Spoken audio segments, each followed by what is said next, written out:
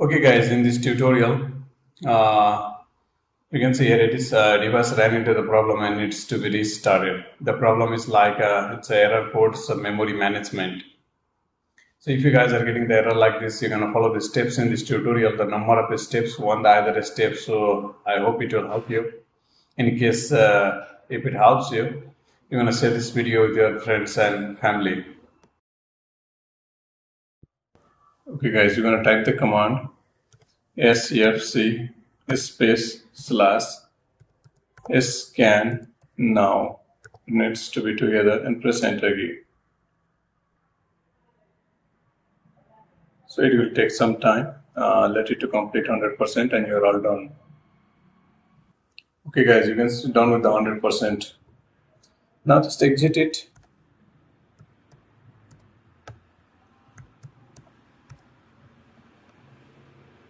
okay let me exit it and press enter again. Finally we just uh, give a restart to your pc and check if uh, it fixes the issue. Go to source and type update. Here you have. Check for updates. Click on it. Or you're going to type check for updates straightly so when you type check for updates you're going to see this window what you're going to do is you can download and install the updates or you can just check for the updates. It will check for all the necessary updates. Finally you can see it is downloading and installing and then after you can restart your pc do not forget to restart for the changes to take effect. So this will fix your issue. It's a some you can see this one is completed manually. Just download and install if any options over here eh, it is a manually to download and install you have to download and install manually. And restart your computer for the changes to take effect. So this should fix your issue.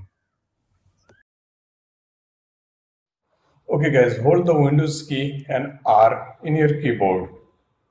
It will open this Run dialog box. You're going to type the command.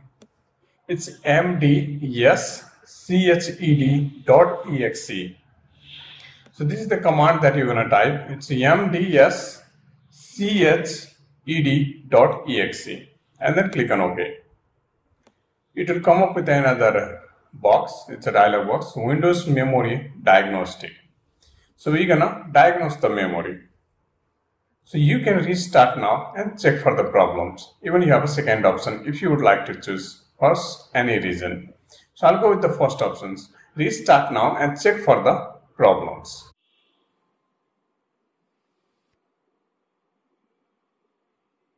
So will restart your PC and start checking.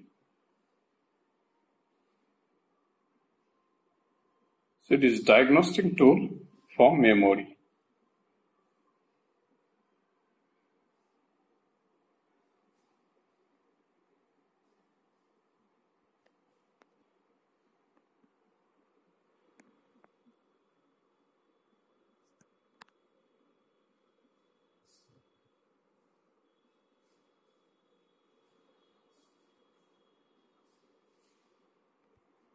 So wait till it's get completed.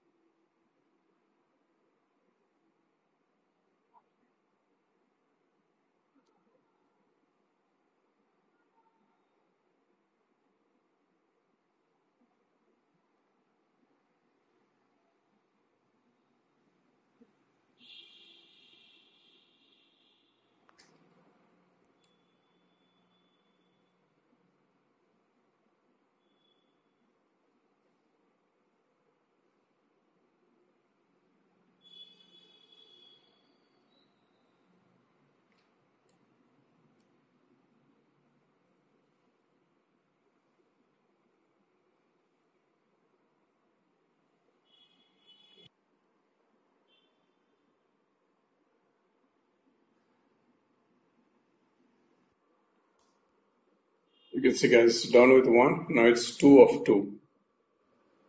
So 50% is done. Now 50% test uh, is remaining.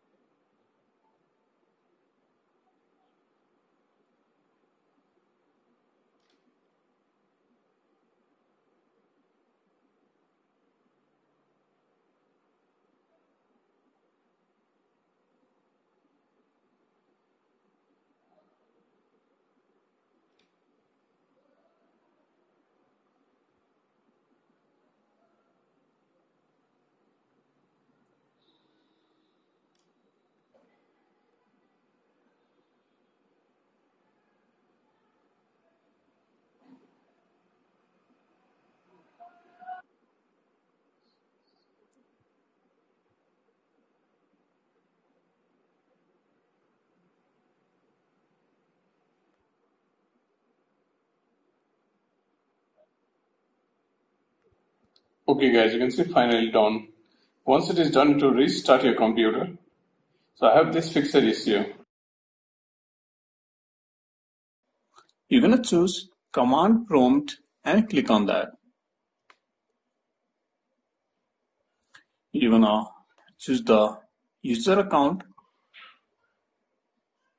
So you might be having a multiple number of user in your computer. So you're gonna choose the user.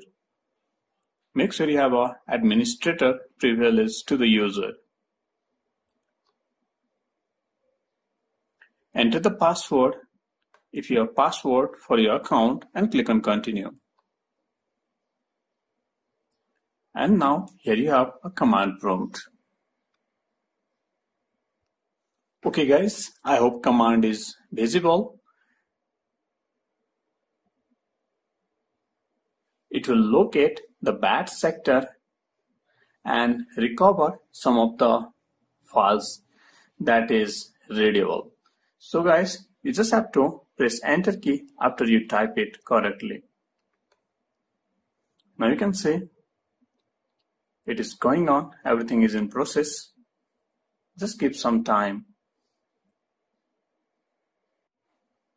Doing this might take a pretty long time, so just give some time Finally, once you're done, you're going to press exit. So if it asks you for the any kinds of permission in your computer, like yes or no, you're going to type Y for yes and then press enter key. So finally, it's all done. You're going to exit it. And now restart your computer. You're just going to choose, it's a troubleshoot. And here you have, uh, reset this PC. Let's click on that keep my files or remove everything. Okay guys, this will restart your PC and after restarting, this is what you get. Your account, one you used to log in your PC. So if it is password protected, you have to enter the password and click on continue. If it is not password protected, just directly click on continue. Now, once you click on continue, this is what you get. Resetting this PC, getting the things ready.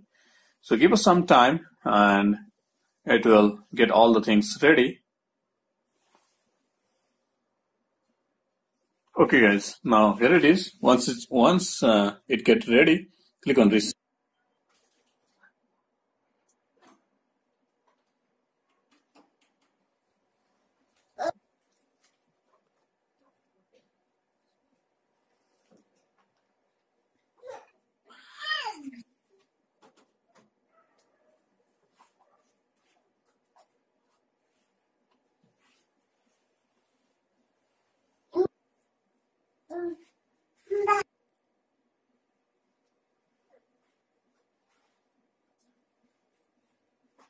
Now this might take several minutes and we are all done. Your PC will be all the way ready to use.